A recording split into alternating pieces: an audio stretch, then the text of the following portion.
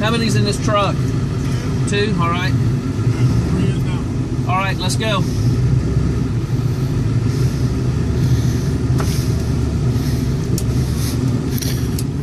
So are these guys going in blinds right now? No, these guys are going to hunt down in the swamp. Uh, it's so cold up here on the top side of the ranch that the hogs have migrated down to the bottom and they're holding tight.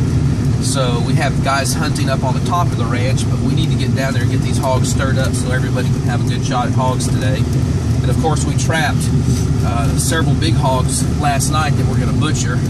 There's just so many hogs that we can't get them shot quick enough, so we're actually trapping and butchering as well. So we are on the pursuit of hogs today. But on a, in, on a cold day like this, it's always good to maybe have different hunters in different parts of the ranch. We really have to spread out as wide on the ranch as possible so we can get the hogs moving. Otherwise, they'll bunch up down in the swamp area where there's a lot of tree cover, less wind, it's warmer down there.